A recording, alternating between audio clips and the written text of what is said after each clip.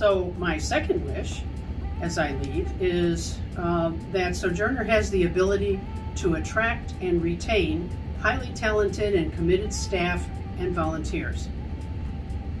Emphasis uh, on staff development and training.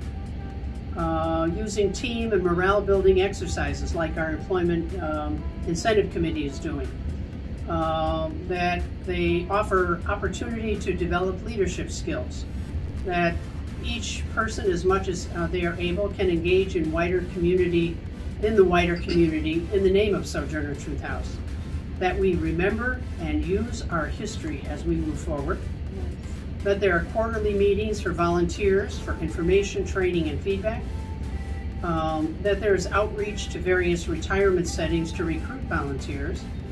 And we have plenty of appreciation activities. We continue to strengthen our educational, vocational, spiritual, and life skills development classes that we now currently offer to our clients. Monday through Thursday, they do two classes per day.